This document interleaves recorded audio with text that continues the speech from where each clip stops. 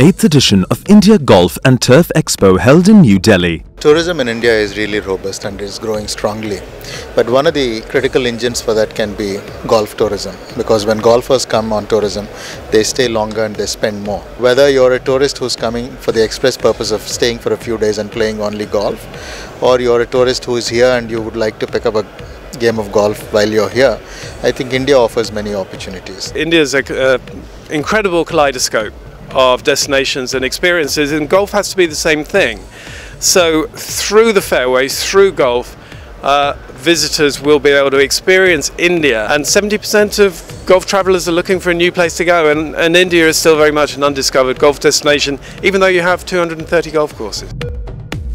PATA India chapter's first tourism masterclass to be held on May 15, 2019 at the Le Meridien, New Delhi. It's uh, got uh, you know uh, promotions. It has events. It's got uh, new policies introduced by government for travel. So I think it's quite informative for uh, uh, airlines like us.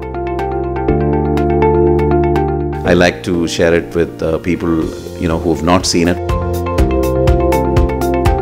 Something which people look forward to seeing every day.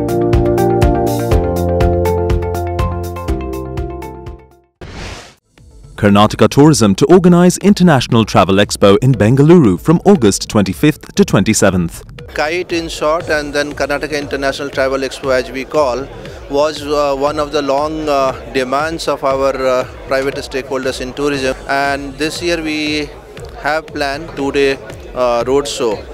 Uh, it's mainly a B2B uh, meeting where 100 international buyers hosted buyers and 250 hosted domestic buyers would be coming to Bangalore and they will have B2B meetings with all our stakeholders and thereafter uh, we will take all these people for the FAM tours.